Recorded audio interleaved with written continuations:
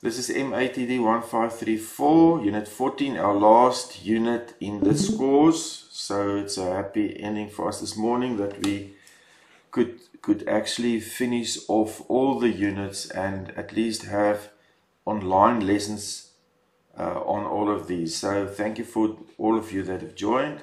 But we're going to now just consider Unit 14 here.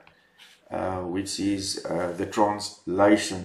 Now, let me just state this now from the start that what you must understand here, because this is important, because I don't want you to lose any unnecessary marks.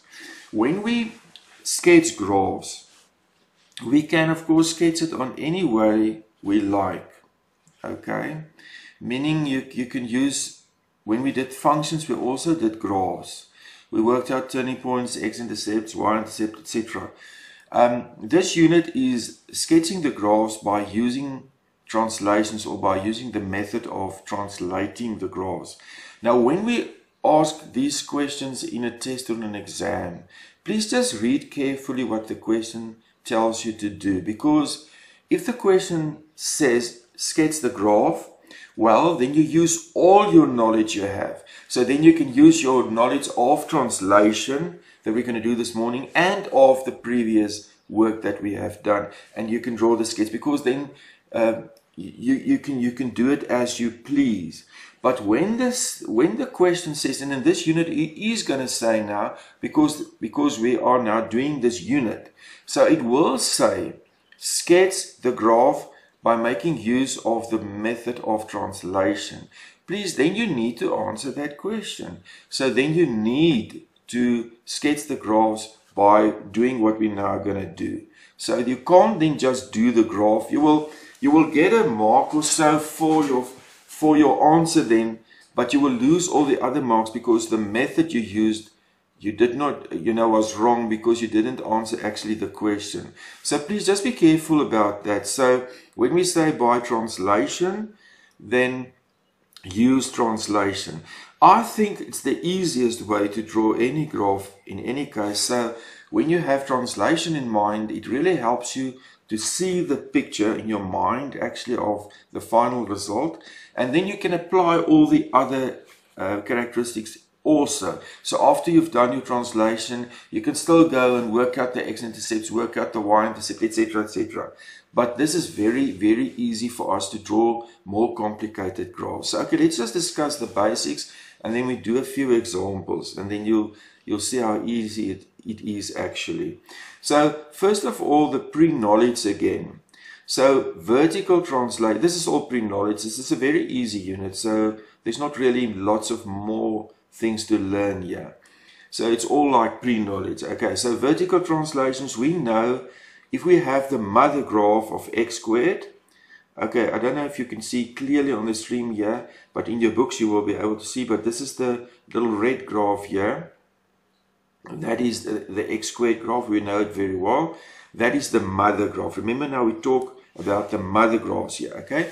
And then if we have a plus 2 there, we know now that that means lift the graph by 2. So that is a vertical translation. So what we have here at the end, the P, the Q sometimes, because some we, we it's, ax squared plus q, and normally for the, the, the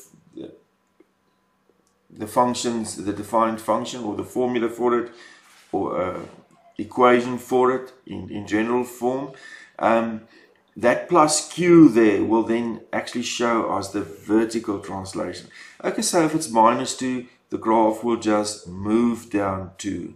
Okay, then we did also discuss a lot of times horizontal translation. Now horizontal translation, remember the mother graph is still this x squared. Don't now forget that our mother graph is still just the x squared here, the little red one there. Okay, so now if we do horizontal, in brackets we will find the change now.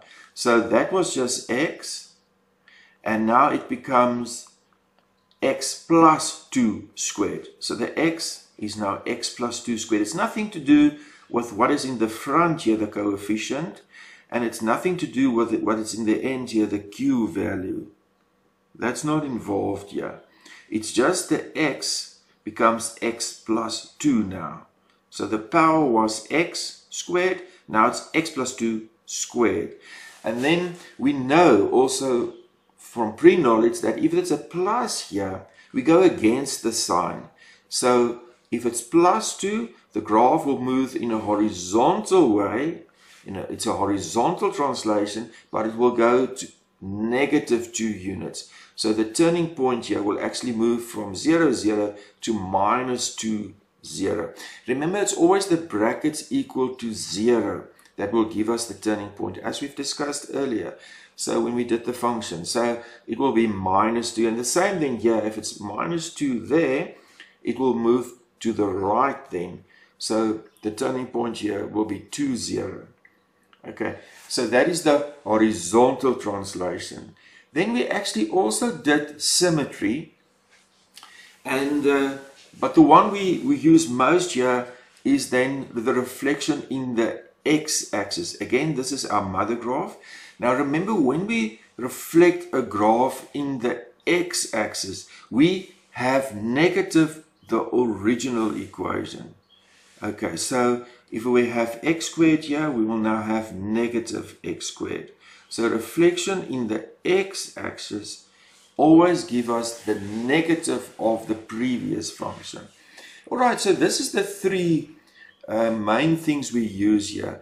Yeah, it's just like a summary to just explain again. So if we have a constant at the back here, that is then a vertical uh, translation. So it's upwards, downwards. And then if we have in brackets, plus it's a negative horizontal, go to the left. If we have minus here, x minus c, we go to the right, horizontal. And then when we have a negative of the original, we actually have reflection through the x-axis.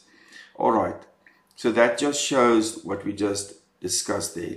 Uh, there was the vertical translations, there's the horizontal translations, and there's the reflection.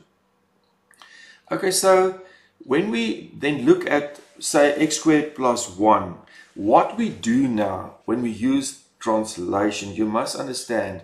And in the book I've done some of the questions on one system of axes, we don't want you to do it like that. So you're always going to have three steps here. You must understand this now. But I will show it when I do the examples later on. But uh, I want you to think about this already. That's why I mention it here. So we will start with the mother graph. And then you do your, that's on one graph like yeah. Then you do your horizontal translation or your vertical translation. You can decide. And that then you draw a second graph separately. And then you do your vertical translation on a third graph separately. Do not do them on one system of axes. You do them separately. And you will tell what you are doing. So we, when you mark it, we want you to say to us, this is the mother graph. And then you draw it. Then we want you to say to us, we could, this is a horizontal translation now, I'm, and then you draw it, and then you tell us this is the vertical translation now, and then you do it. So we want to see what are you doing, and then your result. So after three sketches, you should be then done. Remember now, the mother graph we will all have the same, but some of us can maybe start here with vertical as our second step, and some might do uh, yeah, horizontal. So that doesn't matter. Okay, so if we look at x squared plus 1, um, now, when I say three things here, it means then, uh, you must also just understand this now, then it means that they, in our graph that we must sketch, both happened. I mean, here is only vertical. Then, of course, you're just going to have two sketches. You're not going to have three then, okay? So, um, it depends on the question. Here we just have horizontal, so then we're just going to have two graphs. But if we have an equation here with both things happening, so in other words, there was a vertical shift and there was a horizontal shift, then we will have the three graphs. Okay, so in this case, we just have plus one, so we will show our mother graph. Remember, you must show the mother graph. We will tell that there's a vertical translation of one, or 2 or whatever the case is and we will show that we move it up or in B we move it down or in C we move it to the left or D we move it to the right. Okay, so that is important but that you can go through in um, the book. Yeah, we will start with the mother graph of x squared and then we can move it one to the left and one down. One to the left, one down. But we're going to show it in three sketches.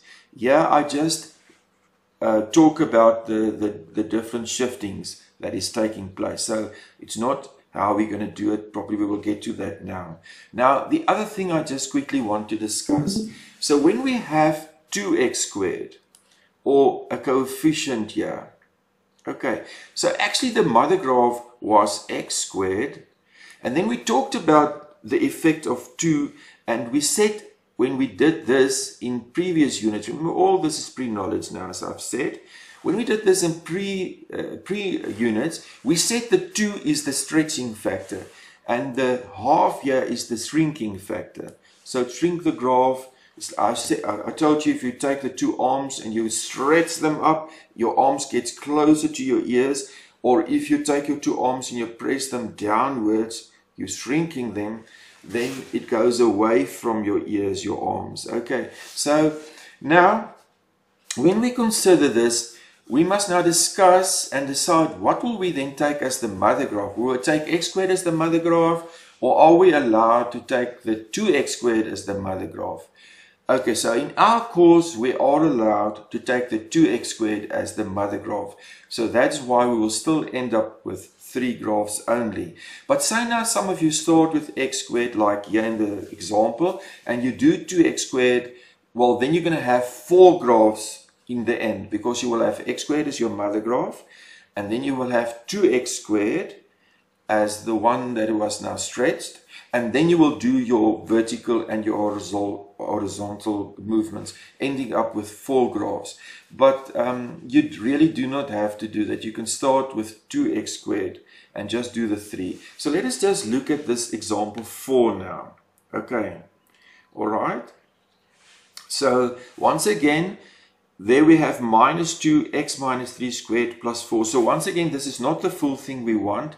I'm just showing you uh, what is happening here. So when we do it by translation, we must do it step by step. We must have those three or four graphs.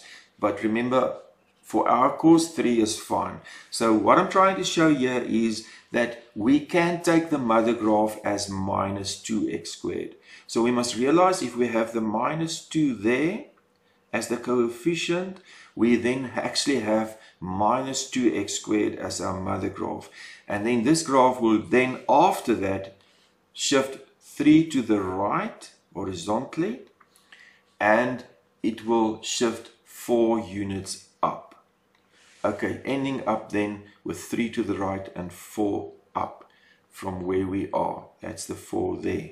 Okay, remember to show all turning points or beginning points, all that stuff that we've talked so so uh, many times about. In this course, if um, you've done your translations like here, um, remember we're just considering the translation now. So if the question did not ask you for x-intercepts and so on and y-intercept and so on, then you do not need to, to work it out. It's only if the question asks you to also do that. So you're just going to show the translation. But remember all beginning values, all end values, two, two coordinates per piece, that is still valid. Okay, because we need to see where your graph is going to go through. But we will do full example in a couple of minutes. All right, so yeah, um, very important now. What now if I have to sketch this graph now by the method of translation, you see? Remember now, if this was just sketch the graph in previous units or without the question saying translation, we can find the turning point, x-intercept, y-intercept, the stuff that we did earlier. But we're going to now have to do this by translation. So therefore we will need to do the completion of the square, completing the square, so that we can see what translations are taking place. So once again, you can now see how important the completing of the square is because that is how we actually can see what the translations are. So that graph will be translated uh, and we will use mother graph x squared because there's just a 1 in front. So it's actually our x squared graph that moves 1 to the right and 2 up. Okay, so remember then when the graph, the function actually, is given, the notation is given in the ax squared plus bx plus c manner, we need to do completing the square, completion of the square, to find the shift that's taking place. Okay, so that is actually all the pre-knowledge uh, up till there. So let us look now at this example. Okay, and we do a full example. Listen, you can make this NB, okay? You can make this an NB, right? Okay, so this is the third, the third graph. So first of all, let us define our mother graph. So our mother graph will just be the square root of x. Okay, that will just be the square root of x. So that is always going to be our first step, defining the mother graph, and then draw it. So remember now we've done domain, we've done range, we've done everything. So we know x must be greater and equal to 0 here. We know there's a positive in front of the square root. So therefore the graph can only go up. Okay, so we can just get ourselves, uh, ourselves a second coordinate. Um, remember now 0 will give 0. So we'll start here with 0, 0. And ach, you can any other coordinate. Let's put in 1 there. 1 gives 1. So put the coordinate in and this is 1, 1. Remember this is done, done by software. So the coordinates is not indicated here, but you must indicate two points as I've said so many times. Okay, so you can indicate that point and you can indicate this point. Now what is important now? When you do your translation, those points that you've chosen there, show how they change. Don't use other points now. So choose two points. I just want to make this a bit bigger here. So choose your two points and show how they are moving throughout. And remember what I said earlier? I've done it here on one set of axes, but you must do them separately. Okay, so we can now say, um, let's do the horizontal translation first. So if I look there, I can see, okay, this graph, this mother graph, must move two places to the right because this is now x minus 2. So I'm going to write for, if I do it properly, I'm going to say, listen, there's a horizontal translation 2 to the right. So that I'm going to show. Remember I said you must tell us what you are going to do. And now I'm going to take this graph and move it 2 to the right. So let me indicate this in green here. So that was now, remember that was 0, 0. So I'm going to show how that point is going to move. Well, it moves 2 to the right, so it's going to be here now. So that is going to be 2, 0. And the other point was 1, 1. It moves 2 to the right, so it's going to now be 3, 1. 3, 1. So that's going to give me my marks for my horizontal translation. Now, remember, I do it separately. So now I go to the third, and then I should be finished after three. Ne? So now I go to the third. Let me take the orange maybe here. So now I say, okay, what happens now? Well, there is a plus one. There's a plus one. So that is a vertical translation of 1. So, come right to them here. Listen, there will be a vertical translation 1 up because it's plus. Go to your graph now and use the points and show what happens. Okay, so this 2, 0 goes 2 up. So it becomes the point 2, 1. This 3, 1 goes 1 up. It becomes the point 4, 1. Okay, and then the last thing you do, just draw it now and pack yourself on your backs and say, well done, because then you will be done and you will get all your marks. So this is how we sketch the graphs by the method of translation.